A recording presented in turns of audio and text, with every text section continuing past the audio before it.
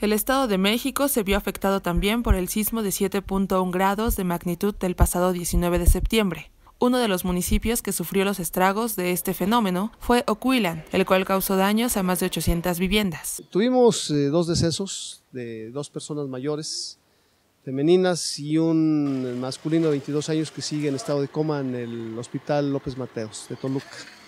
Eso fue la urgencia médica, la, más este, terrible que tuvimos, ¿no? Eh, hubo heridos con heridas leves este, que fueron atendidos inmediatamente. Hoy, afortunadamente, pues básicamente es la prevención nada más en cuanto a cuestiones de salud se refiere. ¿no? Eh, el balance actual es de alrededor de casi 800 casas con daños diferentes. En semáforo rojo tenemos alrededor de 300 viviendas, vaya, que se derrumbaron totalmente. Este, el resto sufrieron daños estructurales severos y unas, no sé, unas 15 hasta ahorita, que solamente es cuestión de que la revise de protección civil y que es muy probable que regresen a sus domicilios, ¿no? Se están repartiendo las, las despensas a las diferentes comunidades que resultaron más afectadas, este, se les está dando la atención médica, ¿no?